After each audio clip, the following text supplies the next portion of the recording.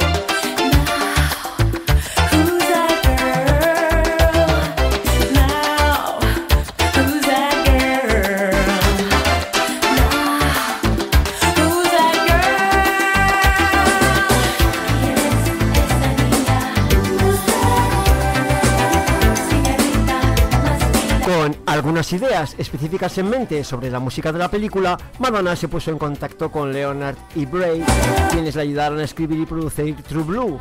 Les pidió un ritmo rápido. Llegó al estudio de grabación un jueves. Leonard le mostró un cassette de una grabación del coro. Madonna fue a la trastienda para completar la melodía y la letra. Decidió titularla Who That Girl como la película. Grabó su voz en una sola toma para más tarde Leonard y Bray agregar guitarras y percusiones.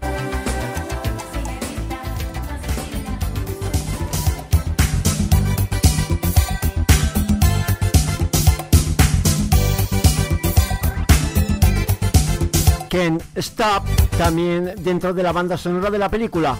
Un sonido de teclados de tono alto incrustado entre una caja de ritmos y un clarinete. La única del álbum en no ser lanzada como single encontró inspiración en los sonidos Motown de los 60 y en la formación Martha and the Mandelas. Después del lanzamiento de la banda sonora, la crítica especializada lo tildó de simple e incompleto. A pesar de las críticas, Madonna ya estaba iniciando un ascenso meteórico hacia el estrellato. El disco fue un éxito comercial, colocándose entre los 10 mejores álbumes de las listas, con ventas que superaron los 6 millones de copias.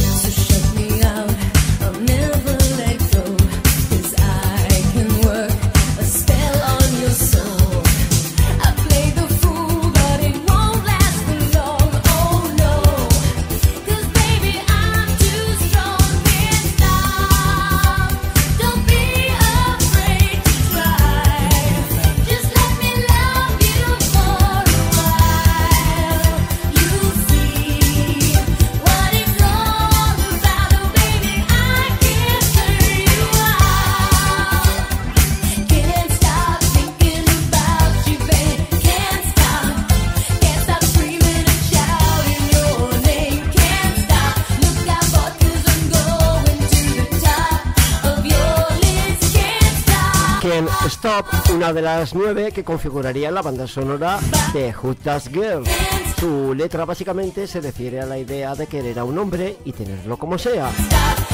Por otro lado, si bien la faceta de actriz de Madonna no parecía tomar vuelo, su carrera musical seguía en alza, evidenciada por el impresionante éxito que tuvo la banda sonora del film. A pesar de contener tan solo cuatro canciones de ella, el disco vendió 6 millones de copias, ocupando las primeras posiciones en los rankings mundiales. Dos años después, editaría un disco que supondría su primer pico creativo.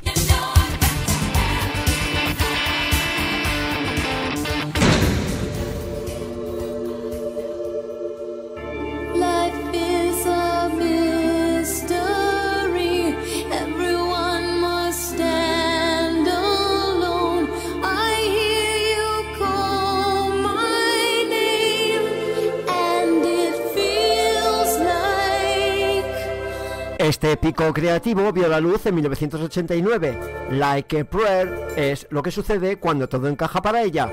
Había madurado como vocalista, tenía los productores correctos, las ideas correctas y también había descubierto cómo combinar el comercio y el arte a la perfección. Este cuarto álbum de Madonna podría verse como el primer LP real en lugar de un puñado de singles exitosos. Las canciones son aún más maduras, los temas son más personales y Madonna adopta una apariencia más despojada. Ahora parece una artista más seria. Si con sus álbumes anteriores estaba dando a luz a una estrella del pop, este dio a luz a un artista.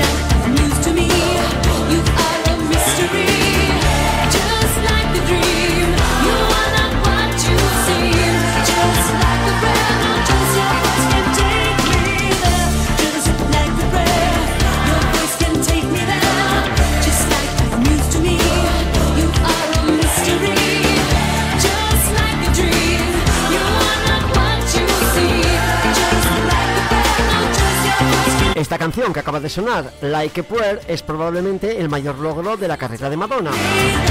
Tenía que demostrar y lo hizo que era algo más que una cara bonita con talento limitado. Para su más famoso y aclamado trabajo, mostró sus intereses más pronunciados sobre la religión, el feminismo y los derechos de los homosexuales. Todo eso significó que más allá de disfrutar del sonido de su música, el artista buscó en el oyente reflexión y pensamiento, ya que cada canción importa, cada canción vale la pena escucharla por alguna razón. Sí, sigue siendo Madonna, pero es una Madonna verdaderamente inspirada.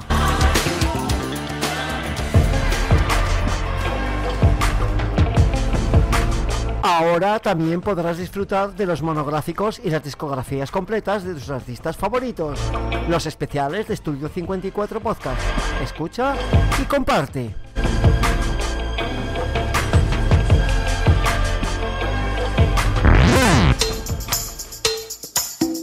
El siguiente single de Like a Prayer lanza este mensaje. Si tú no te expresas, si tú no dices lo que quieres, entonces nunca lo obtendrás. Express Yourself la escribió para decirle a todas las mujeres del mundo que deben elegir lo mejor para ellas, antes de que esa cadena al cuello acabe con ellas, pidiéndoles a los hombres que expresen lo que quieren también. segundo sencillo de adelanto de su cuarto disco, inspirado en un sonido cercano a los Slides and the Family Stone, movida y bailable, cuenta con un contenido y una dirección más adulta en su letra.